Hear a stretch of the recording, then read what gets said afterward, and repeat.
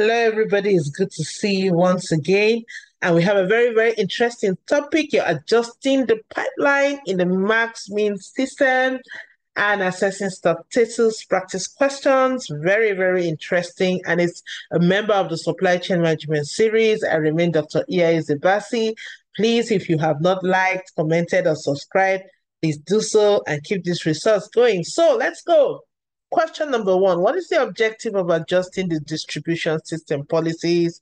Usually, why you adjust them is because you want to reduce the number of supply chain levels, you want to reduce the pipeline. So, you could adjust the uh, distribution system policies. Question number two What does assessing stock status help to determine? You want to be able to determine the number of stock available, not just the stock you have, but how long can it take you?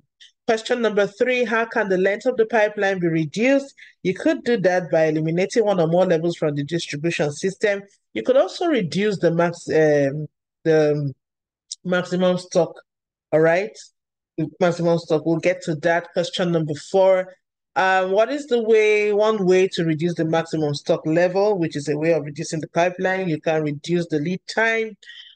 Question number five, what factors in impact the max-min stock level, cost of products, yes, reliability of transportation, yes, storage capacity, yes, shelf life of health commodities, yes. So answer is all of the above. Good. Question number six, which factor does not, this is a negative question, impact max-min stock levels and employee satisfaction? Will be the answer. Question number seven, which max-min version is best for a community health worker distributing condoms and orals. That will be the continuous review system, the two bin uh, system where you keep two bins. Once one bin is finished, you now it's like uh, you, that is like it has reached a mean, so you now replace it with another bin while the one that was standing there is now used. All right, question number eight. What is a physical count in supply chain management? That's the process of counting by hand. You have to be there physically and count by hand the total number of usable units. Question number nine, what is a phys- why is it important to do a physical count? Because you actually want to compare actual usable stock with your recorded stock to avoid stories that touch the heart because sometimes you find out that what you actually have actually it's not what is recorded in the stock. So you want to make sure that doesn't happen in your own situation. Question number 10. What is the purpose of addressing stock status why do we do that? Is because we want to determine how long this supply is left, not just how much is there, but how far can it carry us? And it's, I think, recorded in the months of stocks. All right. Question number 11 What formula is used to calculate how long your stock will last? This is usually your stock on hand over your average monthly consumption. So if you have thousand, um, let's say, kids and your average monthly consumption is um, 250. So you know that you have four months of stock remaining. Okay, 12, what is the definition of stock on hand? This will be your total stock available at any given time. What is the importance of calculating months of stock on hand? That's because you want to determine how long, how long will it take you. All right, question number 14. How often should stock status be assessed? You should actually do it once a year, but if you know it's a new program, you do it more frequently, or you've had issues of your data not tallying, then you should be able to do it much more frequently. Question number 15 Which element can be changed to reduce the maximum stock level? You can shorten the review period. What impact does reducing lead time have on the max mean system. Why, if you reduce lead time, most likely you're going to reduce safety stock levels.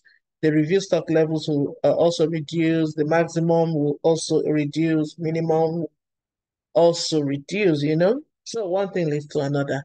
Question number 17, what is the impact of eliminating levels from the distribution system?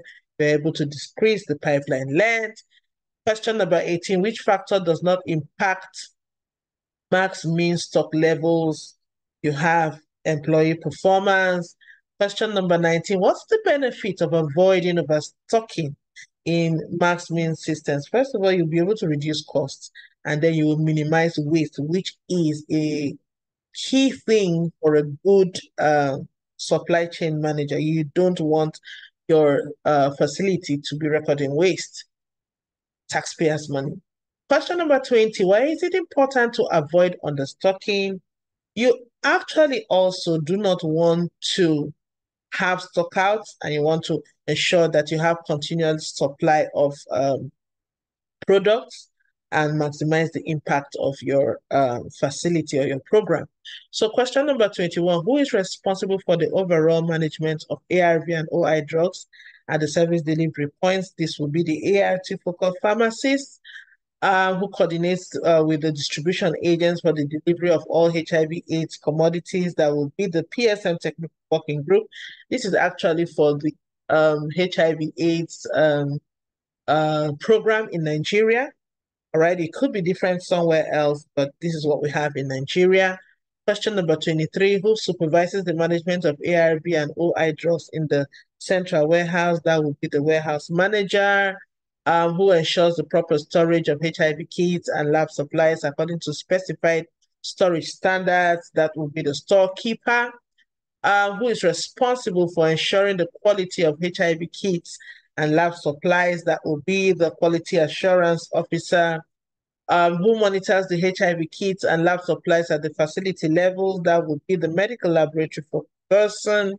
Uh, 27, who completes the issue and receipt form for lab supplies. That will be the storekeeper. 28, who supervises the daily usage of HIV test kits at the facility. That will be the focal medical laboratory scientist. 29, who submits stock status report to the Central Logistics Technical Working Group. That will be the medical laboratory focal uh, person, especially when it concerns lab um, products. Uh, 30, who ensures proper inventory control at the central medical stores. That will be the stores pharmacies. Thank you very much for listening. Don't forget to subscribe, get to like, and don't forget to comment. Thanks and Bye bye. God bless you.